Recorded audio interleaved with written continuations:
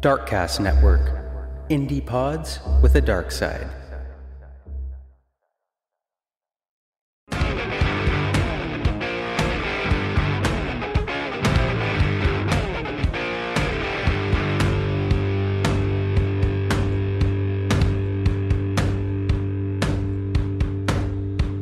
Devil is on his way. Devil is on his way. Devil is on his way. Devil is on his way, motherfucker. The devil gonna make you pay. Fall to your knees. Devil is on his way. Fall to your knees. Devil gonna make you pay. Fall to your knees. Devil is on his way. Motherfucker, he's on- Mountain Murders is an Appalachian true crime podcast. Some content may not be suitable for all listeners. Listener discretion is advised. We say fuck a lot. Hey, y'all, welcome back to Mountain Murders. I'm Heather. And I'm a sleepy Dylan. Hey, Dylan, how's it going? I'm not sure yet. You're not sure yet. Yeah, it's a dreary day here in WNC. Um, we slept in, as some people call it. Um, I'll tell you what, every time I don't set alarms, I sleep till like one. Is that good or bad? I don't know, bud. I've never, I, am not going to say I've never slept in late, but the last few years, I don't typically sleep in late. Okay. As an adult, I tend to get up, you know, the latest I can sleep is like 9.30. You have this drive, like you have this schedule you need to adhere to.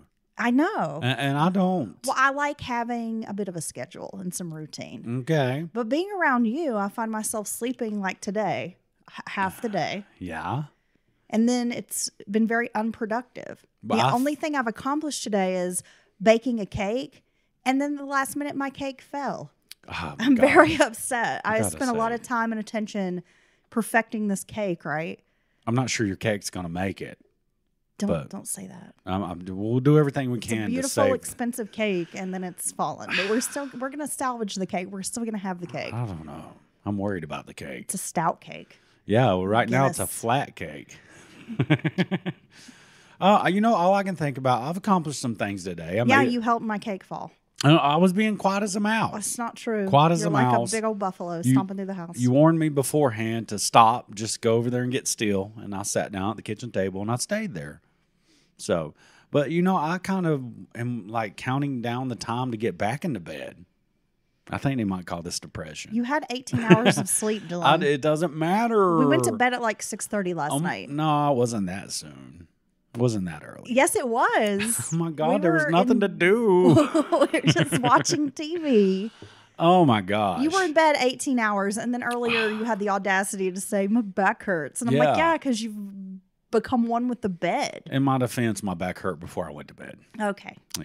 And, and, Dylan. and the best thing to help a back hurt is plenty of rest. Dylan, we have two sponsors. We need to give a shout out to our newest patrons. They are so graciously, generously sponsoring today's episode. Jessica and Matt, welcome. Welcome. Join us. Thank you, Matt and Jessica, and all the other new and old patrons. we love yeah, you. Patreon is where the fun is at, Dylan. Oh my gosh! Now that woke me up. Hey. And guess what, Dylan? I'm still sleepy. We've been invited back oh. in 2024 as part of the Darkcast Network. Now, see, it's it's not unusual for us to get invited invited somewhere, but to be invited back, now that that is something to be uh, something to behold. But but um, it's Yeah, true. I can't take you anywhere.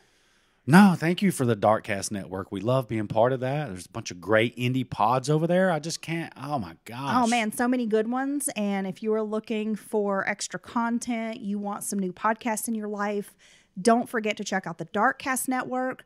Go to darkcastnetwork.com where you can find some of the best, darkest shows on the internet. Yeah, do it at the end of this episode. Beyond the Rainbow, we've got Over the Fence, a true crime podcast, and then they were gone. Fuck that. The Book of the Dead, J Squared, a horror podcast. Hands Off My Podcast, Murder and Mimosas, Conspiring to Argue, Burnt Marshmallows, A Hateful Homicide, Scottish Murders. oh wow, it's a lot of different kinds of murder. Oh man, there's so many California true crime. There's the Crime Viking, Disturbing Interests podcast, Mission Spooky, Oh, boo, bish, boo. the Strange History podcast. I'm telling you, there's so many good Oh ones. my so God, make and- sure you check out the Darkcast Network. We're again excited to be part of that motley crew of indie podcasters. And you can find Mountain Murders as well. All the murders. They know Dylan. Today we have a case that is quite interesting, Dylan. It's one of those cases that, with all the information available and technology, you would think by now it would be solved. there. And Okay. it's a little frustrating. Happens sometimes. It's one of those cases where I feel like law enforcement had tunnel vision. Very Kinda- early on. Yes, and it and it kind of ended up uh, like botching this investigation, if that makes sense. Yeah, and that really can happen. You know, they get they get a theory developed, which is usually how it works. Prosecution investigators develop a theory, and they and they try to you know suss that out and figure out if that's truly what happened. But if they do truly get a strong conviction or tunnel vision, if you will, early on, it can really wreck an investigation. And sadly, by the end, you'll conclude that's probably what kind of happened here. But let's talk about this case. No. Because it's very intriguing, it's sad, it's tragic. Let's get into it. sounds sounds wonderful. Are you know, ready? Let's dive straight in, girlfriend. Suzanne Nahuela Jovin was born in Göttingen, Germany. Okay, or it's Gotten gotten gin or Gottingen. I, we'll I just say speak- Germany. I don't speak German. We'll say Ger- old Germania.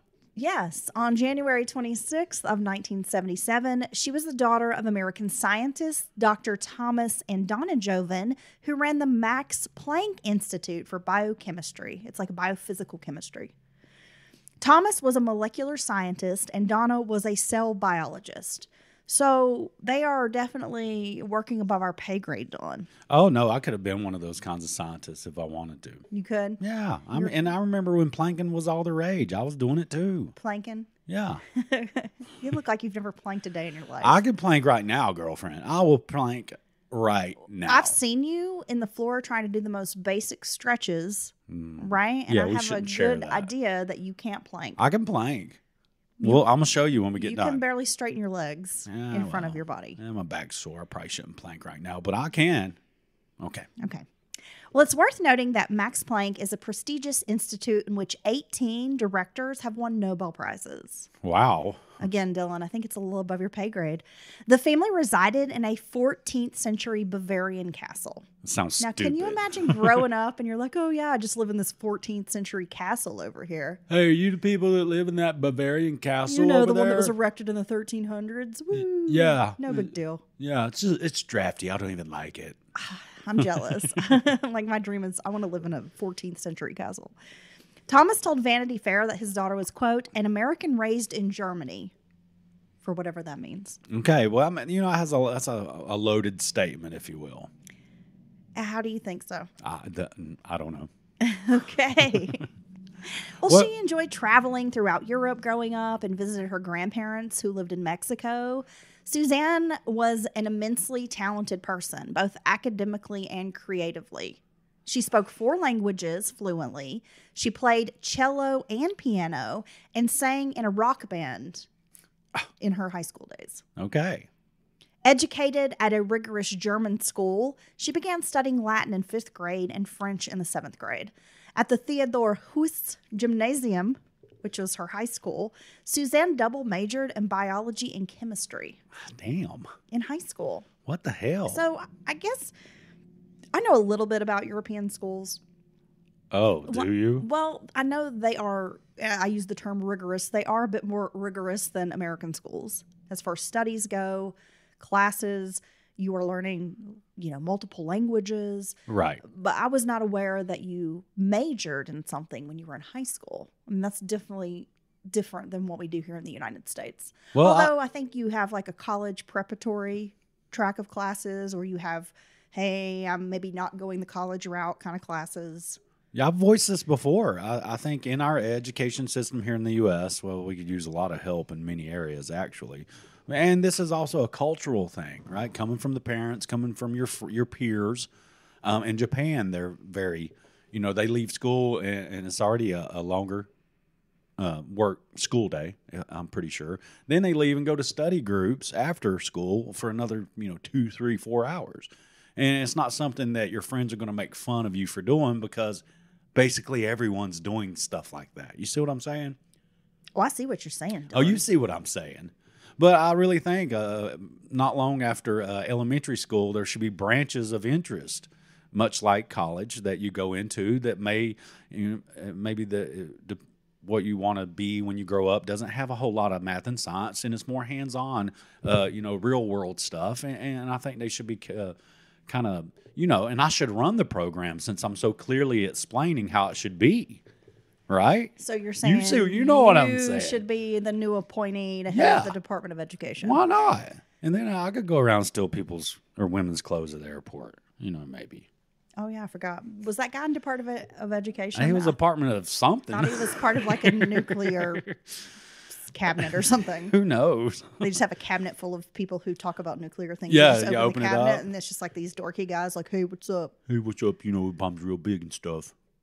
It's a, just a cabinet of guys because they don't allow women in because Well- they're like STEM doesn't allow women. No. Ooh, it's an old school way of thinking. Yeah, you know. Okay, moving along. This is ridiculous. Suzanne's half sisters graduated from Harvard, but she chose to attend Yale University, which was her mother's alma mater. Suzanne intended to be a science major, but had a change of heart. Dylan, she took a graduate level cellular biology course uh, her freshman year, but quickly realized she was in over her head. a friend said it was one of the few times she ever saw Suzanne's confidence diminish. Well, yeah. Who knew that the what was it? The graduate level cellular biology course. yeah, who knew that was going to be a tough one? She uh, decided to switch majors to political science and international studies. Yeah, it's a little lighter load. You know, something to pass the time. Despite being incredibly intelligent, friends say Suzanne was anything but stuffy. She was fun loving and would go nuts on the dance floor. Described as, quote, sparkly and cool, she did everything her way. David Bach, another friend, said, quote, she was very traditional and stylish and feminine and very rebellious and liberal. She's all the things. She's all the things. She's fun. She's sparkly. She's smart, and she is traditional but untraditional, unconventional, and, and whatever that Unconventional? unconventional. okay. I guess. And uh, she's Clearly, just. you did not attend Yale University. Is Uh, well, I mean, you could have just said that without giving us this 15 minutes of oh, you know, with all this talk about bumbling college Dylanisms. and molecular uh, Dylanisms that I'm going to attempt to sound smarter than I am. Okay. and uh, like I said, attempt, and uh, yeah, so can um, proceed in your conveyance for your forward. Proceed in your conveyance forward. Forward. Let's go. Did you take drugs like, I before we started? No, this is me sober, honey. Oh, Lord. that's part of the problem. Looking beyond graduation, Suzanne applied to continue her education in a master's program at either Tufts, Columbia, or Georgetown. All, you know, very just easy schools to get into. Yeah, right? I'm just carrying on, but this is all elite Ivy League. This is big boy shit. Her father had attended Tufts University, so that might have been one of the reasons she chose that school. According to those who knew Suzanne best, she was not really interested in making money, but wanted to help people. Sounds like something a rich person would say. Uh, you know, since I don't have to sit around thinking about my electric bill and the water and such, uh, I've decided to create a new type of sale therapy. Okay. That made no sense. These are modern day philosophers, folks. What- You're they're not. They're not being drugged down by the day to day. You are really interrupting my story. Can we get back to this? Thank you. While at Yale, Suzanne participated in the Bach Society Orchestra and co founded the German Club. She also worked at the Davenport Dining Hall. The athletic Susan played squash, she skied, and jogged. Interested in social issues, she did volunteer work with a group called Best Buddies. And Best Buddies was a student organization that helped adults with mental disabilities. Oh, Suzanne, it wa- I mean, I guess you would think of it almost like a big brother, big sister kind of group. And she was uh, really awesome with her buddy, apparently. Um, Suzanne had developed a, spe- uh, a special relationship with her buddy, Lee, Uh, they spent hours on the telephone, and Suzanne would bring him to the various Yale like athletic events, games, and to different social outings. She really wanted him to fit in. Now, do you think I would be uh, able to participate in a program like this? You need a buddy. Well, I was gonna say, can I- You're exhausting me. I need a buddy like her. She sounds awesome. She can have you, She can bud. take me to the athletic events. On December 4th of 1998, Suzanne spent the early evening at Trinity Lutheran Church, which was four blocks from Yale's campus, at a pizza making party that she had organized. Best Buddies hosted the party, and Suzanne was running the club by the time she was a senior. So she's heading the whole club up, and she's created this pizza party event. Sounds like fun. I want to go. I want to make my own pizza. That was always like such a special treat to get to make your own pizza when you were young. It's Right. true, I, and I think uh,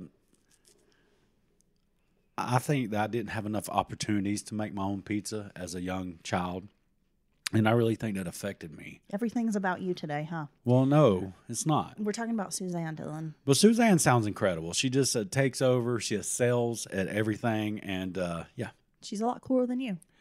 I And wouldn't say that. And sparkly. I'm probably more fun at parties. it doesn't sound like it. Around 8:30 p.m., Suzanne left the church after cleaning up. She had borrowed a university vehicle to give attendees a ride home. Once they'd been dropped off, Suzanne parked near her apartment, which was on Park Street. It was an unseasonably warm evening in New Haven. People were walking around and taking in the mild temperatures. From what I understand, Dylan, it was like in the 70s, which New Haven, Connecticut in December That's got to be abnormal. in like the low 70s. Yeah, that's like unheard of. So people are taking advantage of it. Absolutely. Sometime between 8:30 and 8:50 p.m., a group of friends walked by Suzanne's apartment and she had the window down. I'm assuming because it was such a nice like a warm evening out. The group invited Suzanne to see a movie. So she's kind of hanging out the window talking to her friends, but she rejects the invitation, telling friends she needed to do some schoolwork. At 9:02 p.m., Suzanne sent an email which was written in German to a friend. In the email, she explained that some GRE study materials she had borrowed from that friend had been loaned to an unnamed person, but Suzanne would have those back soon, and that she planned to leave study materials downstairs in the apartment's lobby for the friend to pick up that evening. She logged off at 9:10 p.m. Dylan, are you familiar with what GRE study materials are? Oh yeah, I mean, God, if I can, if I can remember all the times I had to come into contact with GRE study materials, oh, my God, how much time do you have? Yeah, well, you know, it's like for graduate program Exactly. to study to get into, you know, it's like questions that would be asked on the the GRE. Okay. You have to have uh, the GRE for admission to like grad school, business school, law school. It's just kind of, I guess, a, an assessment of the skills that are critical for success in those upper, I guess, those upper level fields. So it, it's basically uh, the SATs on steroids, the next level of the SATs, if you will. And All so right. she borrowed these materials from a friend. It sounds like she loaned them to someone who maybe was more of an acquaintance, a stranger, someone she didn't know that well, but she would be getting those back soon. Suzanne needed to return the borrowed car keys to Phelps Gate, where a police substation was located on campus. She began walking on campus around 9:15 p.m., bumping into a friend named Peter Stein who was out for a walk. Suzanne and Peter exchanged a few words. He told the Yale Daily News, quote, "She did not mention plans to go anywhere or do anything else afterward. She just said that she was exhausted and looking forward to getting much sleep." Stein noted that Suzanne wasn't carrying a backpack, but was holding a few pieces of white paper in her right hand. But he couldn't tell if it was, uh, you know, handwritten notes, something typed because of the way it was folded. He could just see the outside of the white, you know, nine by 11 and a half typing paper. All he knew was some some papers of some sort. Right. So Suzanne walked at an average pace and seemed normal during their interaction. There was no signs of anxiety or trouble. Just seemed like a completely innocuous interaction, right? It is estimated that Suzanne returned the borrowed keys around 9:25 p.m. Yale was playing Princeton in hockey that evening, which had people on campus. A witness leaving the game around 9:30 p.m. spotted Suzanne walking north on College Street. The witness noted a black or Hispanic male in a hoodie just ahead of Suzanne, and a blond man wearing glasses, nicely dressed, was walking just behind her. Suzanne had worn the same jeans, hiking boots, and a maroon fleece pullover that she had had on earlier that evening at the pizza party. Around 9:55 p.m., a person called 911 to report a woman bleeding at the corner of Edge Hill Road and East Rock Road, nearly 2 miles from Yale's campus. The neighborhood was affluent with some graduate housing nearby. Minutes later, when law enforcement arrived, they found a female victim fatally stabbed 17 times in the back of her head and neck. Oh my God. Her throat was slit. She was lying on her stomach, feet in the road, and the body was in a grassy area kind of between the sidewalk and the street, uh, almost like a little greenway buffer. You know, most sidewalks kind of have that. The victim was fully clothed. She was wearing a watch and earrings. She had only a dollar bill crumpled in her pocket. The victim was taken to Yale New Haven Hospital where she was pronounced dead at 10:26 p.m. So here we go from just this innocuous, regular evening. No one's noticed anything abnormal to someone being attacked, stabbed multiple times, many, many times, and now she's died. It's, it's just crazy how it goes from zero to 60 like that. Well, yeah, and like nobody's And no one, expecting that Yeah. this could happen to them. and it seems no one's really noticed when it actually happened so far. You are correct, Dylan. Amy Chow, who had been Suzanne's freshman roommate, was contacted by law enforcement. Police had entered Suzanne's apartment and began calling every phone number written on a list that was hanging by the phone until Amy answered. Now, at first, she didn't understand what was happening when police said her former roommate had expired. Most of Suzanne's friends had been partying that night. So when another friend explained what expired meant, Amy lost it. Oh my gosh. And they want her to come down and help identify Suzanne's body. And since she's the first person they were able to reach, she has this horrific task. Oh my God. So you just go from regular evening to finding out your friend's dead and then wanting you to identify her. That's a tough, that's a tall order. The crime scene was odd. A few things stuck out to investigators. Once a timeline was pieced together, they calculated the distance from where Suzanne was last seen, and there was no way they speculated that she could have walked so far away from campus in such a short period of time. I mean, this is two miles away from campus. They theorized that Suzanne had gotten a ride from someone to the spot. No weapon was recovered from the crime scene.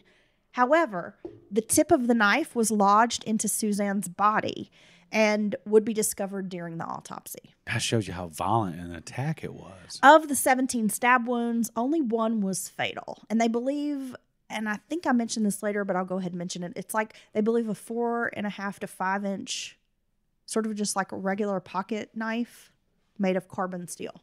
Okay. So they suspect that's the murder weapon? Yes, just based on the tip of the knife they found. The location of Suzanne's body was in a well lit area, and due to the warm evening temperatures, people were out walking their dogs. Windows were open at nearby houses. At least one party was happening in the neighborhood. So it's not like this is a desolate place. I mean, investigators immediately are like, this is a very strange place to commit a murder and dump a body. Yeah. And you would expect that you have a ton of witnesses, at least heard something uh, all around because everyone's out enjoying the evening. Windows are up or down, however you want to look at it. People, you know, mingling outside of homes. A Fresca bottle was found near Suzanne's body, which had her fingerprints and an unknown palm print on it. Do you remember Fresca, Dylan? Yes, I do. It was like a grapefruit flavored kind of sparkly soda. Yes. Do they even make it anymore? I don't know. Do they make tab anymore? I don't know, but Fresca kind of had a moment, I feel like, in the 90s. Every time we watch Scrooged with uh, Bill Murray, he's drinking like a, I don't know if it's some liquor and tab is like his drink he drinks. Oh, yeah. And I'm just like, uh, from what I remember, tab didn't taste that great. Isn't it supposed to be sugar free or some shit? Tab. Yeah, it was like a, definitely a diet, like a diet type of soda. I remember back when my mom did aerobics in like the 80s. She was all about the tab. The women, the women folks would drink the tab after a hard sesh. of jazzercise. yeah. Hey, ja- don't, uh, jazzercise is like that, bud. Dude, I'm telling you, I recently tried to do the Jane Fonda workout yeah. from back in the day. It's on Prime for free. That I got like five minutes into that and it was kicking my ass. I'm telling you. I was like, there's no way I can fucking do this. I'm way out of shape for this shit.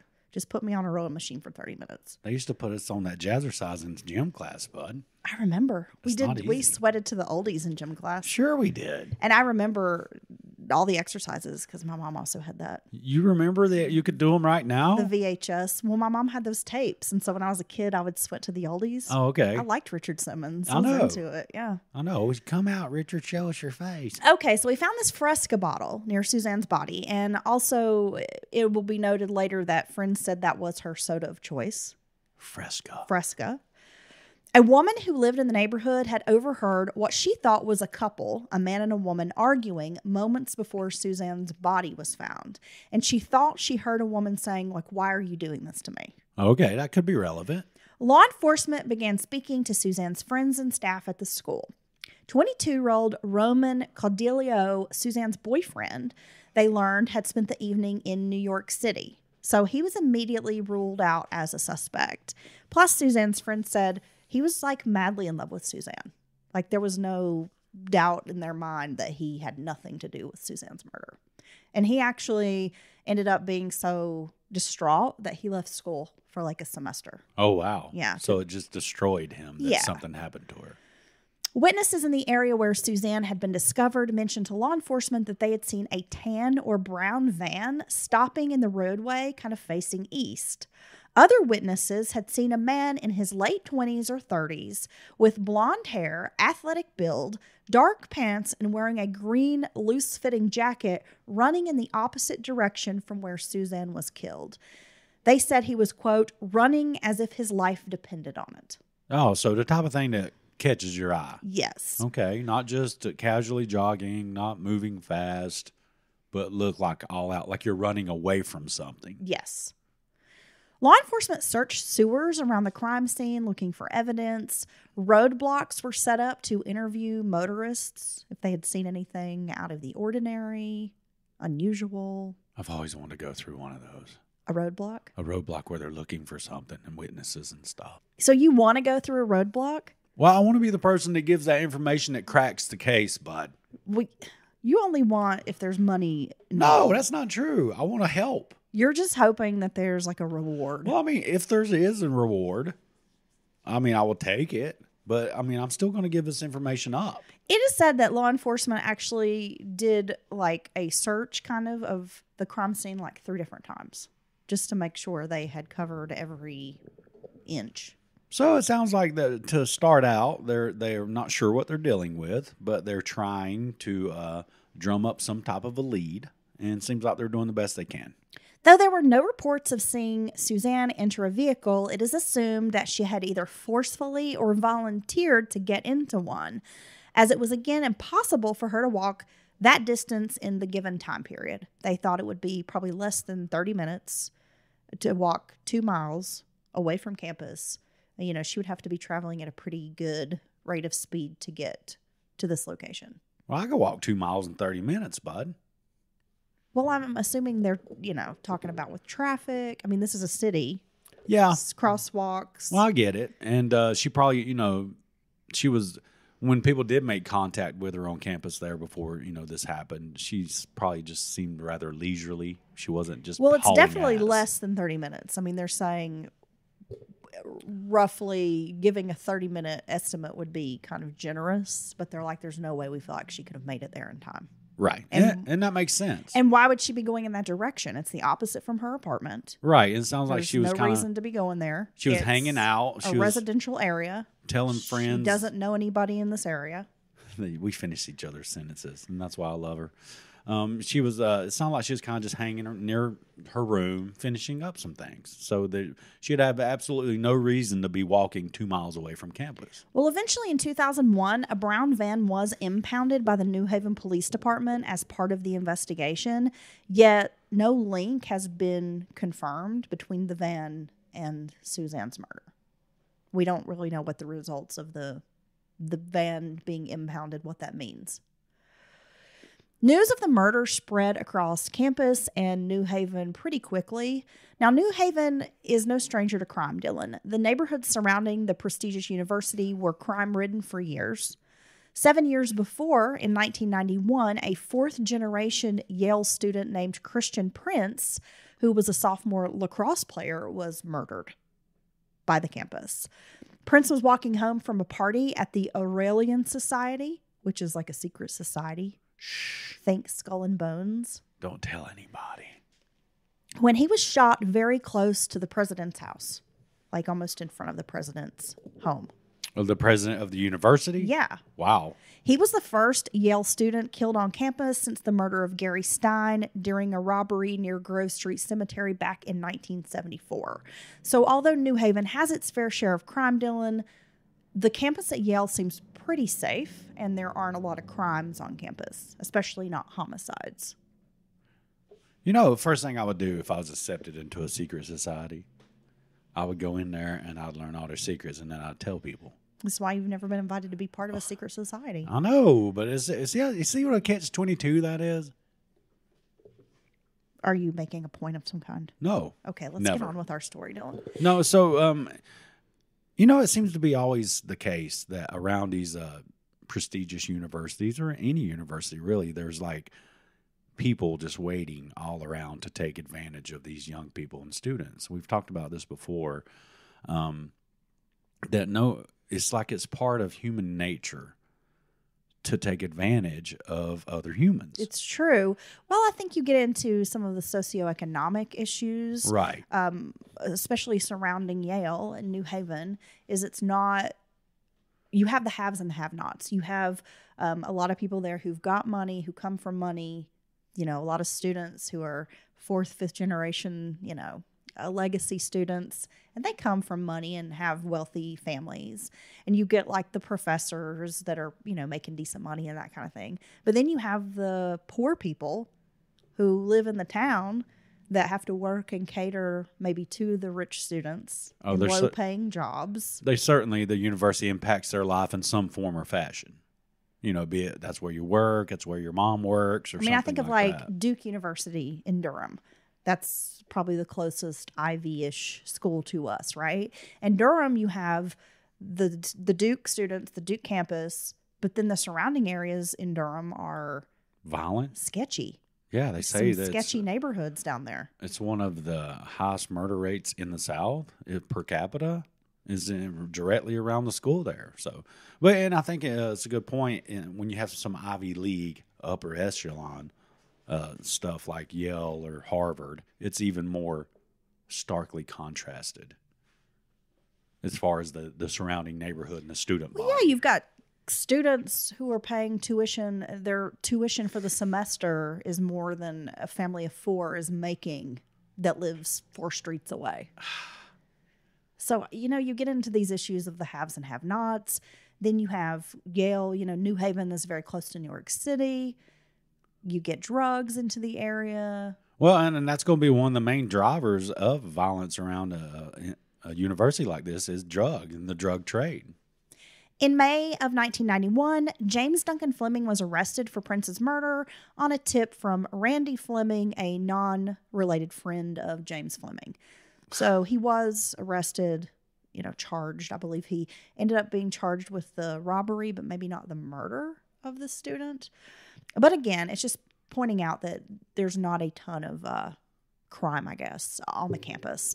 Uh, Randy Fleming was questioned by police and made these claims under oath. He said that he and James wanted money to attend a rap performance, and James suggested they, quote, stick up a cracker. Oh, James Fleming spotted Prince walking home, demanded his money at gunpoint. Prince handed over his wallet, and after that, James Fleming pistol whipped him and said, quote, I ought to shoot this cracker, and then fired his gun, fatally wounding Prince. James Fleming then dropped the wallet in his haste to escape.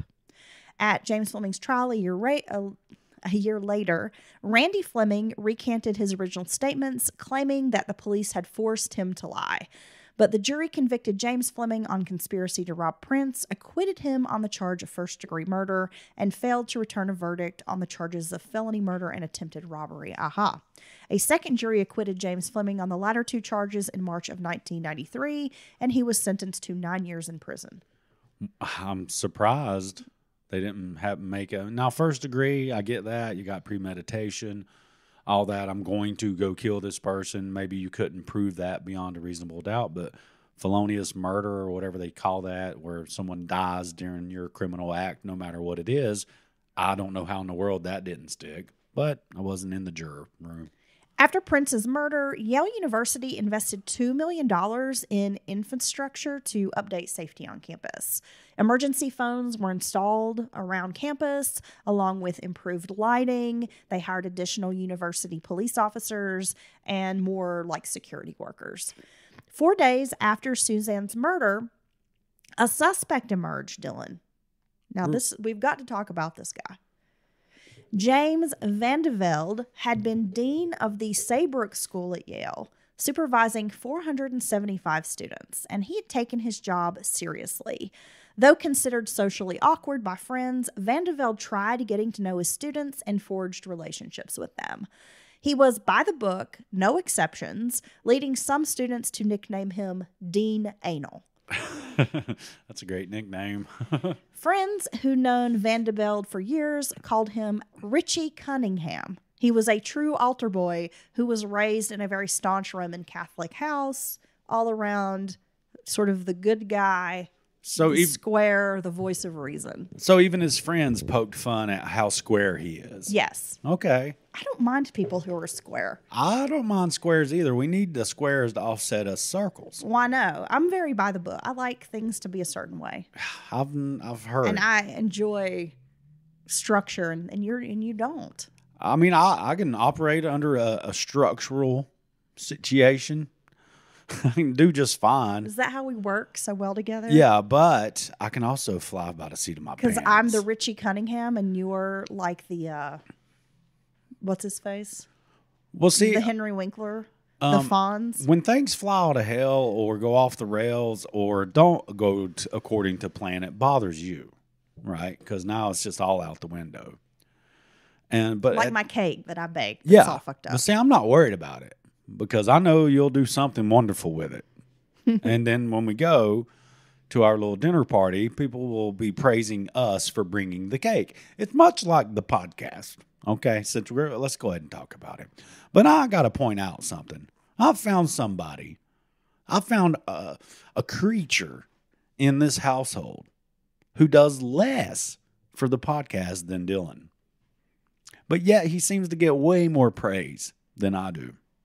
And that offending creature is his name is Rufus. He is our son, our little furry son. And we waited a good solid 10 minutes for him to um, scratch out his little comfy spot on the bed. First, Heather had to get up from her chair, put him on the bed because his sweater he's wearing right now is way too restrictive for him to try to jump on the bed. And then we had to wait for him to wallow around and scratch out him little spot. And now he's laying there. well, I had to put his blankie down. Yeah, I know. The dog has his blankie. Well, why can't I use that 10 minute window to like smoke a cigarette or finish a monster energy drink? Because you just used the last three hours to do those things. okay. Ah, that's valid. All right. So Van de Velde was called the biggest straight arrow at Yale, who discouraged students from drinking and using drugs. In 1997, Van de Velde took a leave of absence from his dean job to work in Italy with naval intelligence. I should mention this guy has security clearance. He's worked as a government contractor. He's in the know about international security issues. So he literally knows things that he can't discuss with the everyday citizen, Yes. more than likely. He returned to Yale in April and then left again to take a job as executive director of the Stanford Asian Pacific Research Center. Nine months into the five year contract, Van de Velde resigned and decided to return to Yale.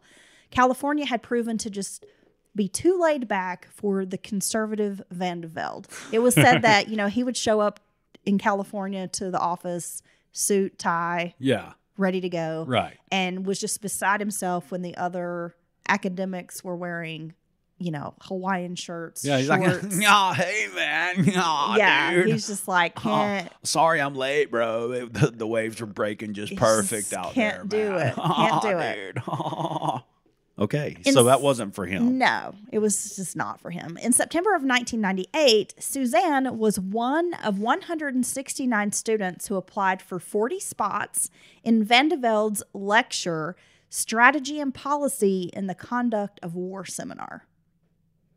So he's returned to Yale. He's no longer the dean of the Saybrook School. He's just a, a lecturer now. So you can take his class. So he's just an everyday, ordinary guy now at Yale Yeah, with security clearance teaching.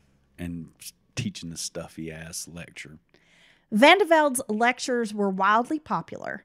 In the beginning, Suzanne was eager and enthusiastic. She went out of her way to impress Van de Velde. Halfway through the semester, though, Suzanne's attitude changed. She skipped two field trips in the class, saying she thought they were a waste of time. And by November, the professional relationship between the two had broken down. Suzanne felt Van de Velde wasn't spending enough time helping her with her senior thesis essay. Suzanne told others she had repeatedly tried to meet with Van de Velde to discuss her work, but was rebuffed. She complained that he had shown no interest in her work and that she lacked support for this project. Yet Van de Velde was known to go above and beyond for students. He answered emails within minutes. Most students felt he was more than willing to help them. Most who knew the teacher considered it bizarre that he would go out of his way to ignore Suzanne or avoid Suzanne. Like it just didn't seem like him at all. So it wasn't exclusive to her that like he was helping her and then or then all of a sudden not helping her. He is how he treated all his students. He just helped them. Like what it- students are saying. So yeah, to hear that he's not helping is the is the aberration. He helps everyone Ye- always. yes. Okay. Wow, you like that SAT word, y'all? Jovin handed in a draft on the paper she is writing on November 17th. Then again, before Thanksgiving, she handed in another draft. Suzanne complained to friends that Van de Velde had missed their scheduled meeting for November 30th. But Van de Velde will later say there was no such meeting scheduled. Like he didn't have anything written down in his calendar. He was unaware that there was supposed to be a meeting with her. And as by the book and buttoned up as he is, he would definitely know about if there's supposed to be a meeting. Well, yeah, that's where, you know, it kind of gets, I guess, a little murky with this situation that's going on with the two of them. Because by all accounts, Van de Velde, he seems unaware that there's an issue. Right. And it seems to be a very big issue for her. Yes. By December 1st, Van de Velde told Suzanne that he'd gotten caught up with some other business over the Thanksgiving holiday, but would read her paper that day and meet her on December 2nd, which is the next day, to discuss it. She seemed happy about this, according to the lecturer. Yet, friends say Suzanne was upset about the paper. Suzanne was furious with Van de Velde. She was feeling insecure and unsure of her paper, which was written about Osama bin Laden, by the way. I, I, I my dissertation would be very short. I'd be like, he bad. He bad guy. He's a bad guy. You know, when he's a bad guy towards people we didn't like, we liked him. But when he started being a bad guy towards us, he was just a bad guy. Yeah, I just broke down international political theater, folks, for the lay people. On December 4th, between 4 and 4:30 p.m., Suzanne dropped off another draft and handwritten note to contact her with any edits. So she takes this by Van de Velde's office, leaves him this note. But she's uh, it's all, it's almost like she ha- before this even happens, she already has reservations. She already has an issue, but in her mind, at the very least, that he is treating her some type of way, negatively in her mind, Yes. right? So it's not it didn't stem from this. She was already feeling this way, right? Voicing it to friends, anyone who would listen. That he's some shit. Now I'm just breaking it down for the people on the street. He's some shit. She's trying her best, but he won't give her any room to operate in. Yeah. Okay. Sure. Yeah. Yeah. All right. Or we could look at it from the point of view that for whatever reason, she thought maybe she was this shiny student and that she would go into this class, blow him away with her ah. intellect, her paper. But he did. Which is didn't. just right up his alley. You know, she's going in there all gung ho, thinking like she's queen bee, and then he just is treating her like everybody else, Oh my god! and she's very frustrated it's the shiny penny syndrome. because she feels like she's entitled to whatever she's not getting from him. And see, this is exactly. I feel I have had these similar feelings as a husband to you. You know, I come, I bring to the table just a amazing, amazing person, uh, physically, uh, certainly known as the unit in many circles. M- emotionally, definitely one of the most romantic, thoughtful guys you will ever meet. Uh, and I just don't feel like I'm getting the recognition in this. Uh, in, in, in this uh, relationship, How are you making this story about you, bud? Well, I, Because see, first of now- all- now, right now, now she's gaslighting. no me. one calls She's you. No one calls you the unit. You're not part of the circles. You call do. yourself the unit. You were even trying to get my dad to call you the unit the other day, which He is really strange. He agreed that I was a unit. He seen me outside. I broke his stick. It was about two inches around. I just snapped it. It was really dead and dry, but I didn't You're tell him not that. romantic. You've done nothing in the years that I've known you that even could qualify as romantic. Okay. You remember that time I surprised you with some mushrooms? Surprise! I'm just kidding. Great. No, romance is not one of my strong suits, but I try. I can't take those. They'll make me sick. Yeah, I Thanks for bringing those home. You're welcome. Yeah. Yep, but so anyway, I can relate with her. Okay, so they're having issues. So it's e, it's kind of like he said, she said, right? It He's definitely thinking is. things are fine. He's Right. treating her like he treats all his students, no big deal. She thinks that he should be paying her more attention. She has higher expectations for their uh, academic relationship. No, kidding aside, uh, that is actually a great view of it. Possibly it is from her. Just what you said. She thought she'd blow him away. She was ready. She's you know very smart and always excelled, always at the top of her class and group. And uh, when she comes in there and she doesn't get what she thinks is the recognition or the the right type of reaction from him, then it's something that she can really bothers her. Right? It permeates throughout the entire relationship. Well, that's what You I. What that's what I am gathering from this Okay. situation. And I'm going to go with your viewpoint because you're the one that actually looked at all this stuff. So I'm going to let you have Yeah, but I'm just saying I've known people like Suzanne who were incredibly intelligent, incredibly competitive, and they have a certain expectation and then they get in a class and they're not the favorite student. Right. They're not and it does bother them Right. Because they've never been maybe rejected or kind of blown off or dismissed. or challenged or told that you could ha probably do a little better than that. You know, yeah. And that makes sense. And that doesn't make her a bad person for feeling like that. But I think that'd be almost a natural reaction if you are, you know, in that situation for someone like her. Van de Velde worked all evening on the 4th. Around 6:30 p.m., a friend popped into the office and invited him to a movie, but Van de Velde declined. He read Suzanne's essay and made some notes so he could meet her the next day and give her the notes. At some point, he went to the hockey game on campus, but didn't stay long before returning to the office. He claims after that he went home alone and would have been at home at the time that Suzanne was killed. But there's no one to back up where he was or when he got there. Right. So law enforcement latched on to this information.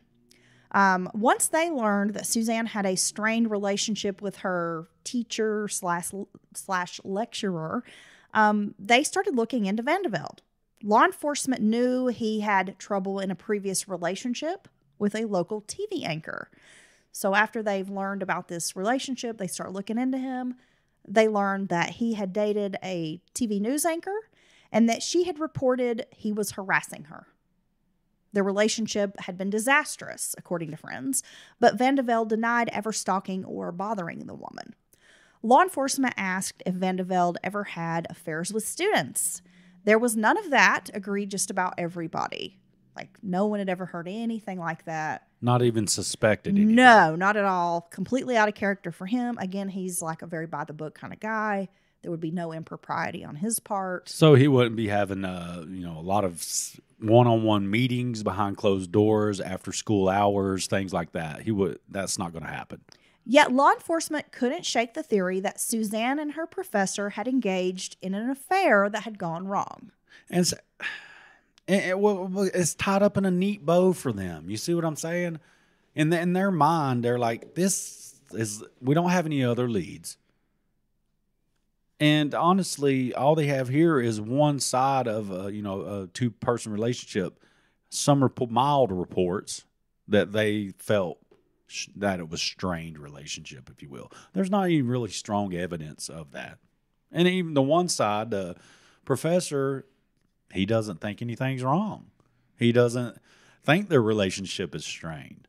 So it's really grasping at straws at this point. But it works for them. And this I think this is a fallacy of the human brain in a certain way.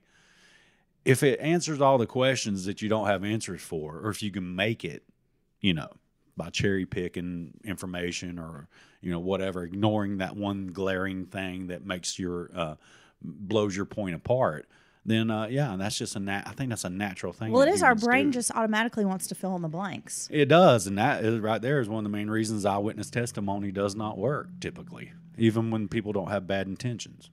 Suzanne was planning to complain about the professor, which police felt was a motive. And the professor was questioned. He was actually interrogated for hours without a lawyer.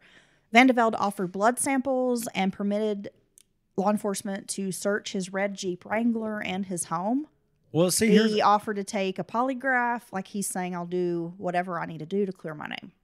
yeah, well, that gives should uh, score him some points with the investigative team because he's a smart guy. He's been he's been around a lot. He's been has this high security clearance. He's not uh, dumb enough, I don't think, to let you do all these things without knowing full well he has the entire time has the option of seeking counsel and stopping you from doing all these things.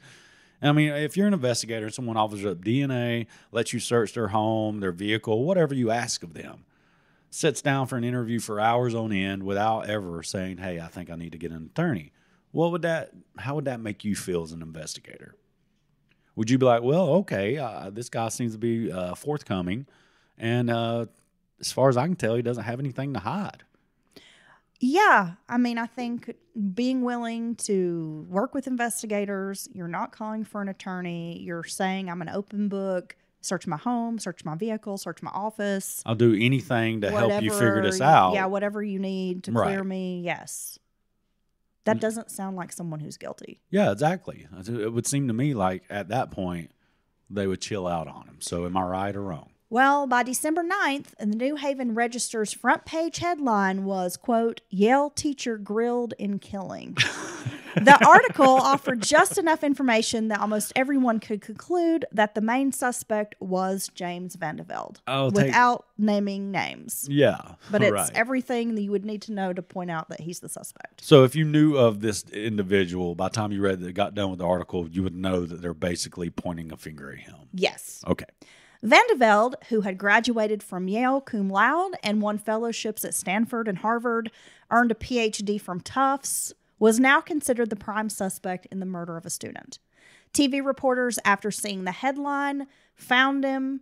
He had not even really read the paper. He didn't know what was going on. They shoved a camera in his face and asked him about it. And he replied, I never hurt her, which people took um, to mean something more, like that it was a bizarre response.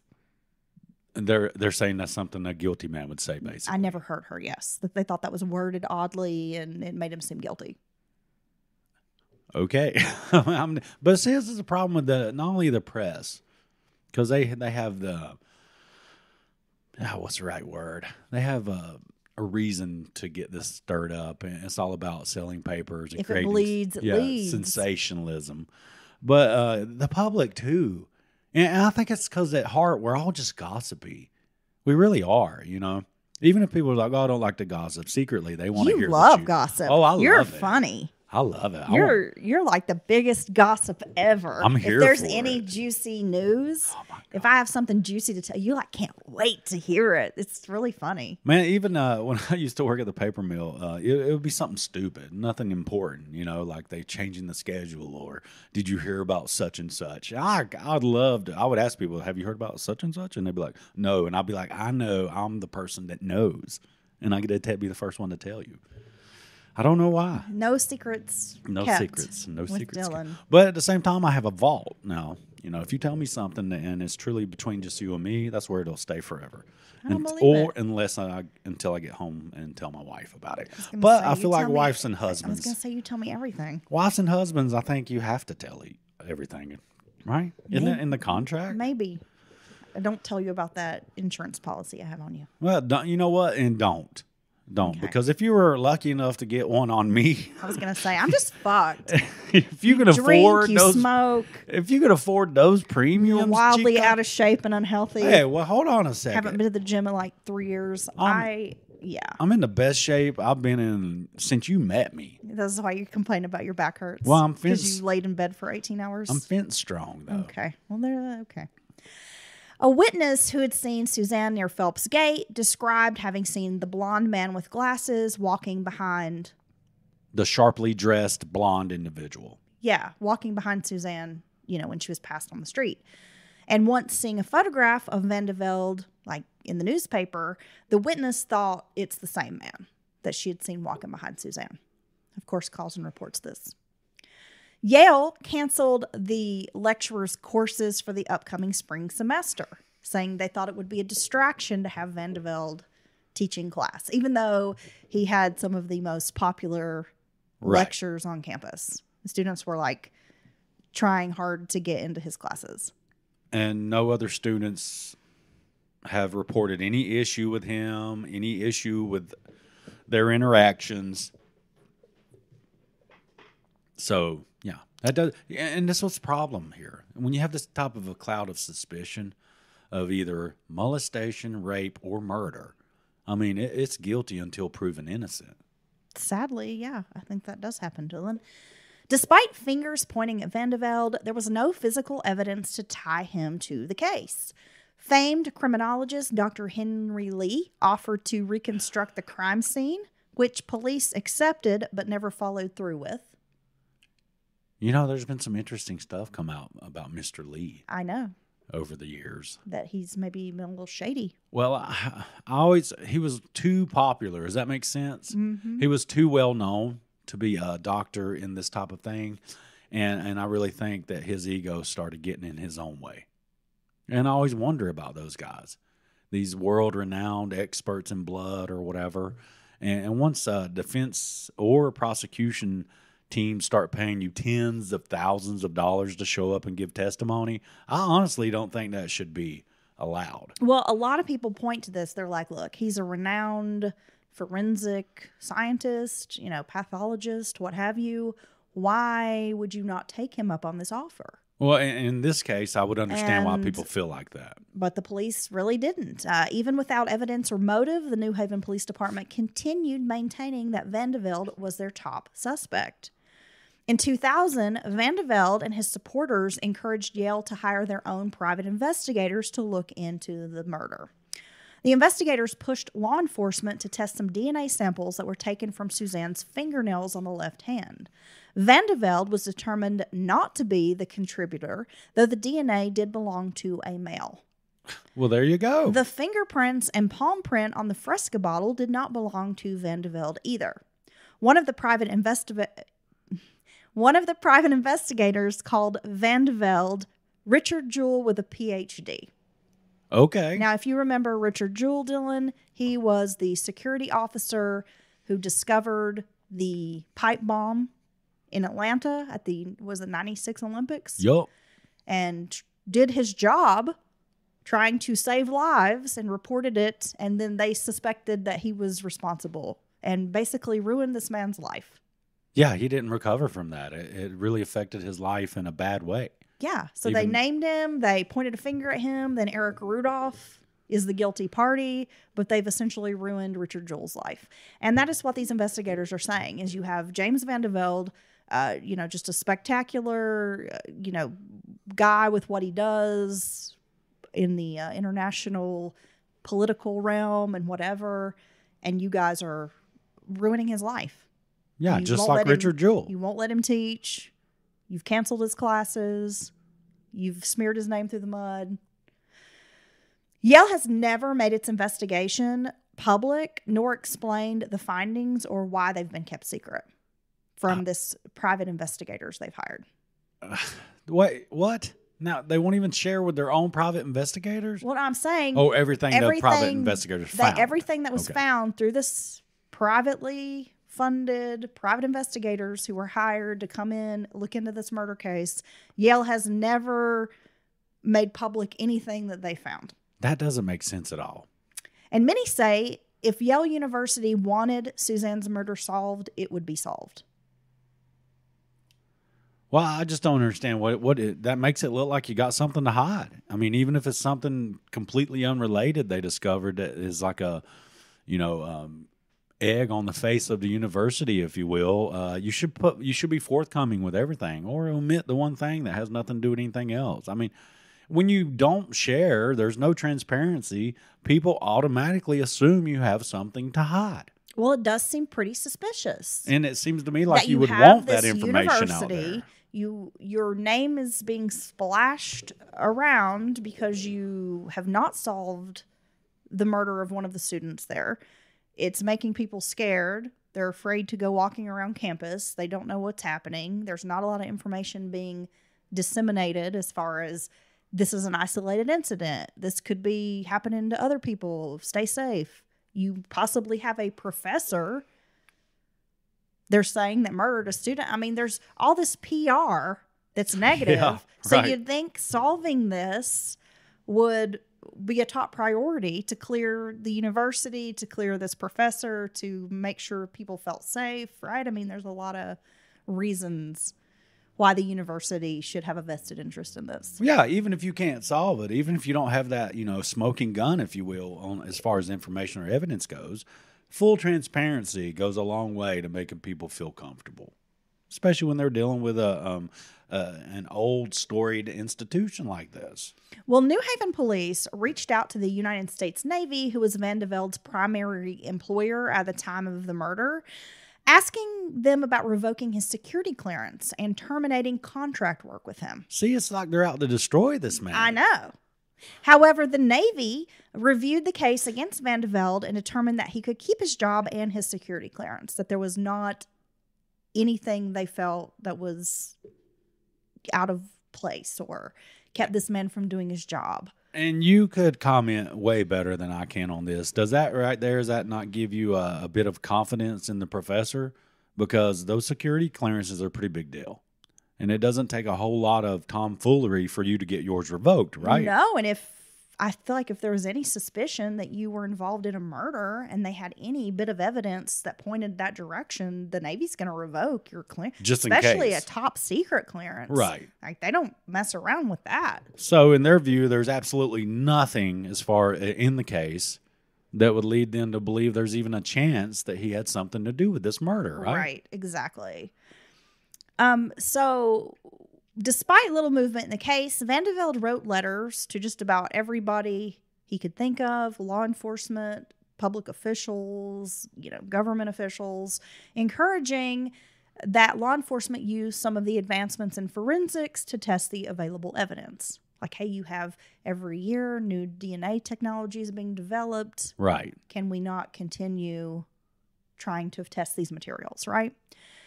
In 2006, eight years after Suzanne's murder, the case was finally moved to Connecticut's cold case unit. Yet the case was not moved to the state's website, and there was no mention of the reward being offered. So even though the state's supposed to be taking care of this, it doesn't seem like the case the state's doing anything. Again, it far as the sounds like goes. it's being smothered. By 2007, Suzanne's case was, was moved back to the New Haven Police Department, and four retired detectives were assigned to rework the cold case. Oh, It's I know who did it. Suzanne Jovin's task force. I know who killed her now. Okay. I have a suspicion that it was someone who is the son or daughter, more likely son, because of this type of violence, of someone very, very influential to the university.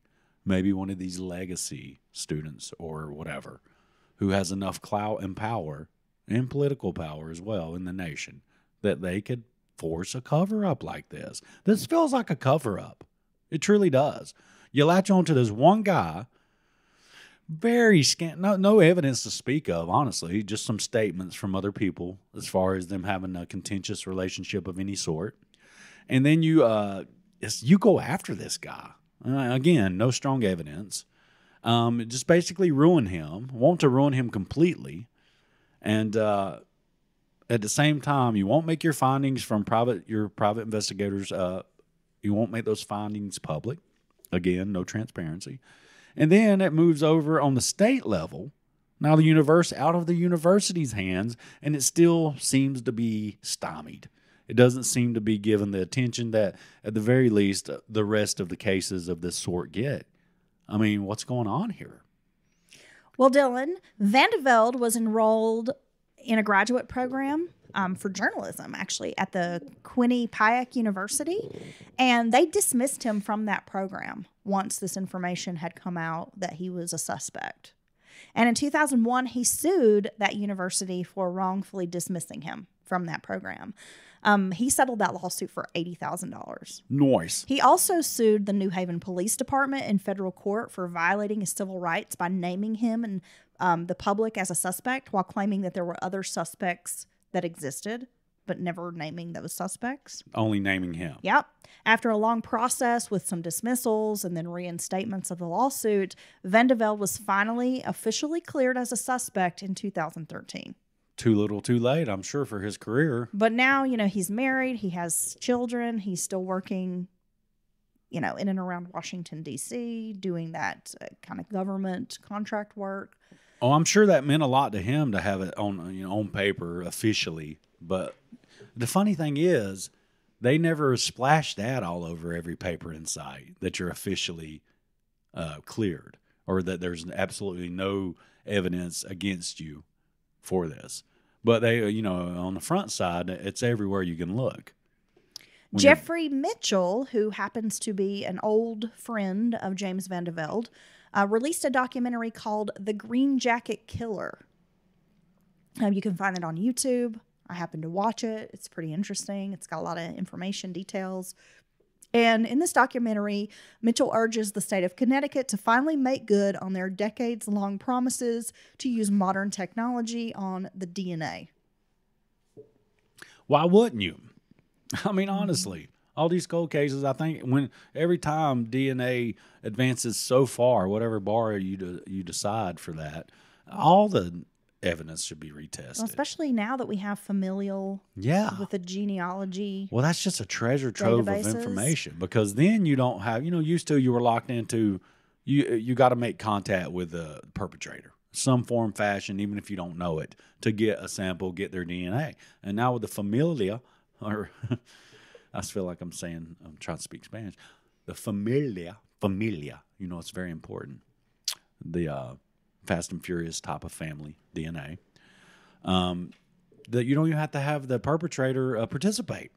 You know, it could be a suspicious, uh, a suspicious uh, family member of theirs. It could be someone who has no idea about any of this. They're just getting their DNA checked out. Treasure trove of information, certainly. Well, this Green Jacket Killer documentary, Dylan, focuses on a potential suspect that has emerged over the last few years.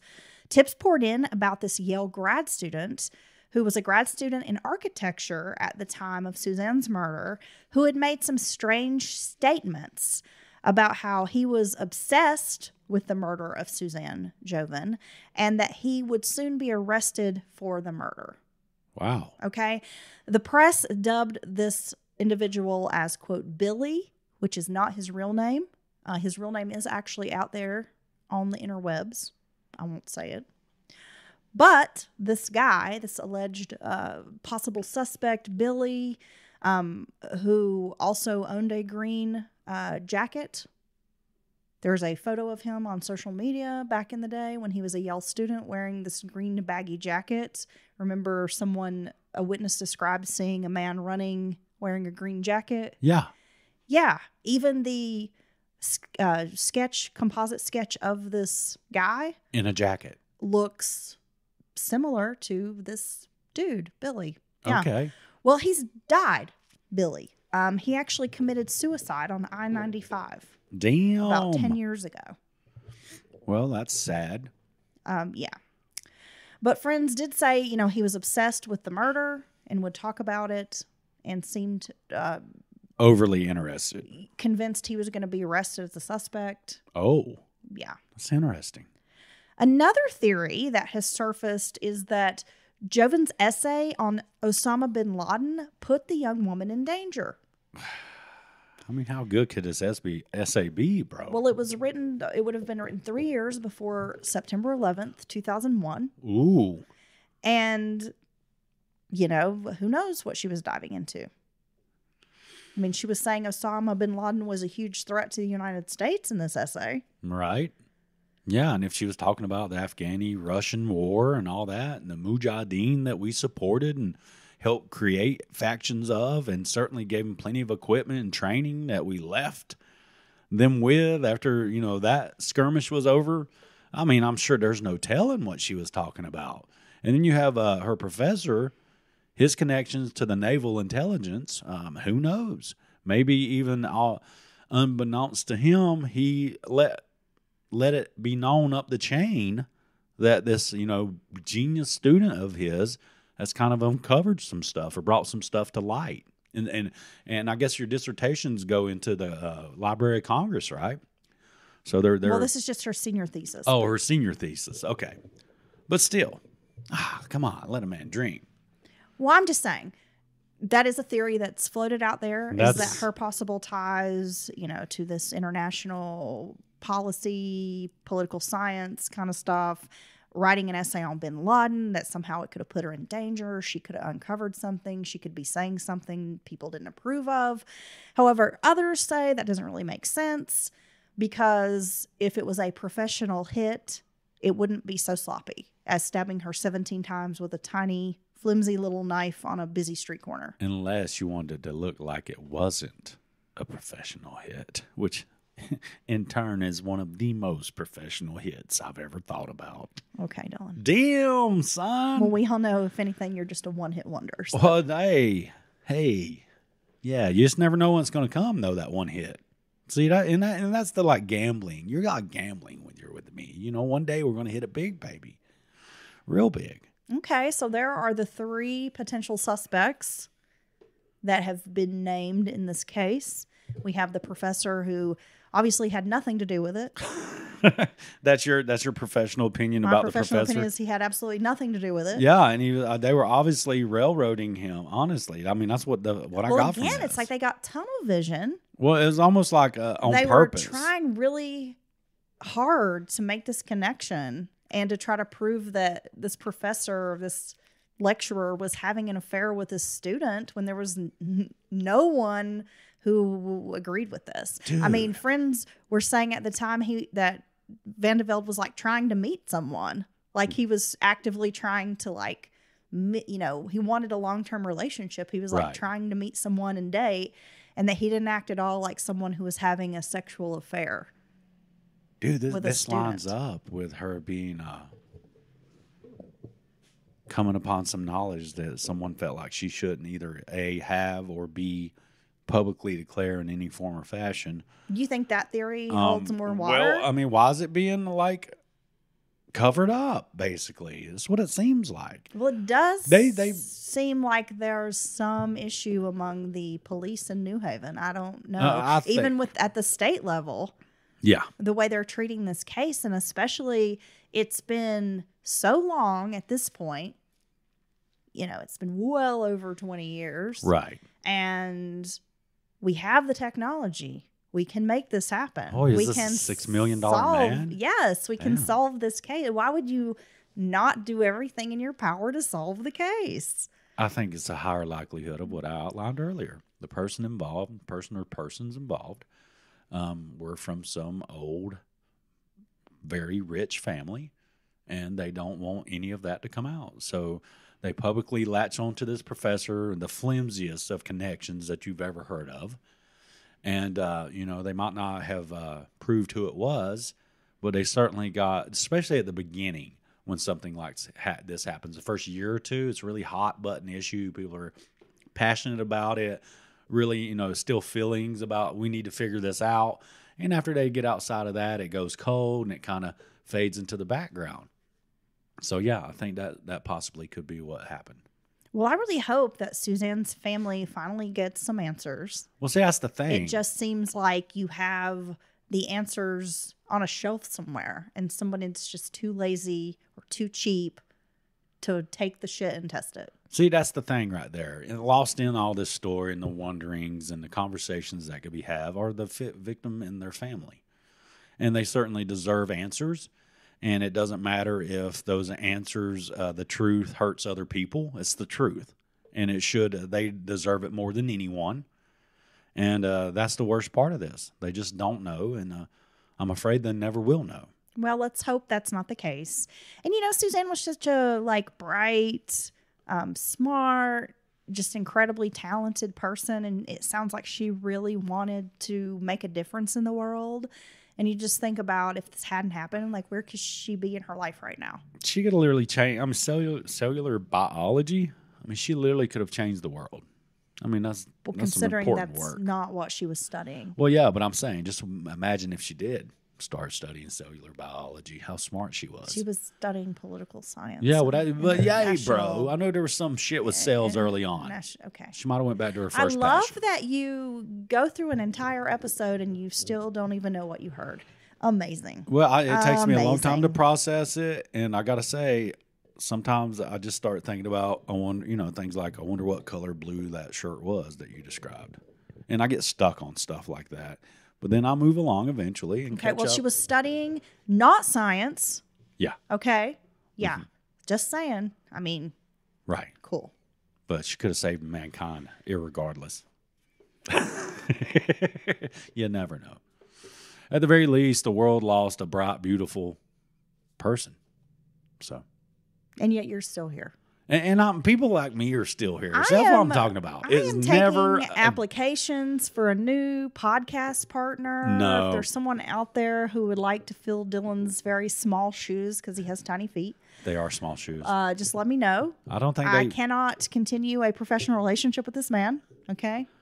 I just don't think they understand. Uh, I'm beginning to understand how a professional relationship deteriorates to the point that you don't want to work with someone anymore. I don't see- want you to grade my paper. I don't, I don't- want you to read my paper. I want you to have nothing to do with my paper. and I think everything's fine. So this is how it happens, folks. So if I am mysteriously killed walking down a street, or someone's to poison my tall boy beer, uh, well, I think we might know who the perpetrator would be. Yeah, probably your ex. Probably my ex. She's fucking crazy. And on that note. Probably your ex. On that note, I want to thank uh, Matt and Jessica again, our new patrons, sponsors of today's show. Thank you very much to the new and all the old patrons. We love you so much. And thank you to everyone who listens out there every week. You're so special to We me. know that the, in Girl Scouts they tell you to make new friends but keep the old. That's right. One is silver, but the other is gold, Dylan. Oh, So okay. stay gold. Both of those are precious. Stay though. gold friends. Okay, Ponyboy. Thank you. You're welcome. All right. Till next time. Bye. Bye. Hey there, do you like spooky or maybe true crime? Well, on my podcast, Missy Mysteries, you can get a little bit of both. Most weeks, I focus on missing persons and unsolved cases, but some weeks, I have a little bit of paranormal stories. Or special two parters with a little bit of true crime and a little bit of paranormal, like the Lizzie Borden case. Check out Missy Mysteries every Wednesday wherever you like to listen to podcasts.